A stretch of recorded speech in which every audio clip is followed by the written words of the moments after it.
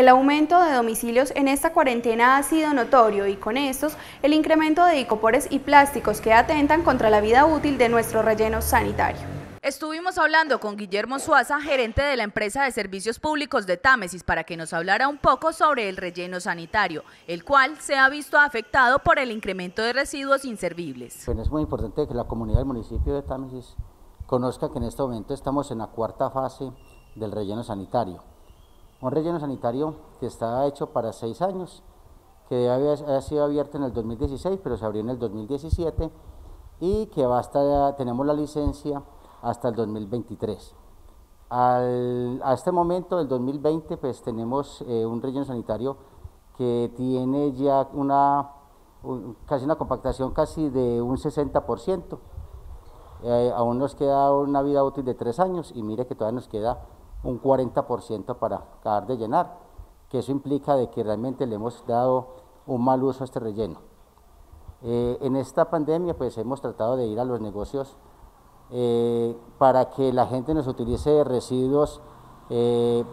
desechables biodegradables, como son las bolsas, vasos de cartón y todos los utensilios que podamos biodegradar, debido pues que tenemos que darle una vida mejor al relleno sanitario. Aunque los residuos disminuyeron al inicio de la cuarentena, en las últimas dos semanas se ha visto un incremento de hasta 12 toneladas más por semana que llegan al relleno sanitario Santa Teresa. Sí, por ejemplo, lo que fue los residuos, la basura, sí mermó, sí hubo una merma,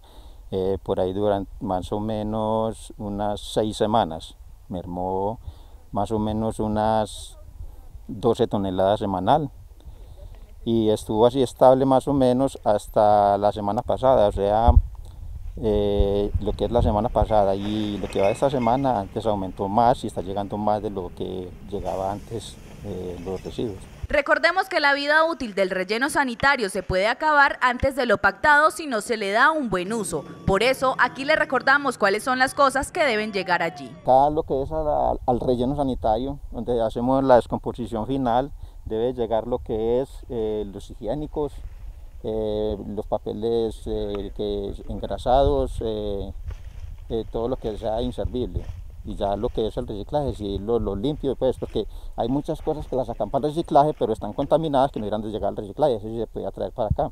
La vida útil del relleno sanitario depende únicamente de los tamesinos, por eso es fundamental hacer la adecuada separación desde casa y sacar los residuos el día que corresponde.